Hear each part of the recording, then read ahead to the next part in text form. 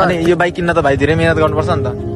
मिहिनेत पछि विदेश जाने पैसा कमाउने किन्ने।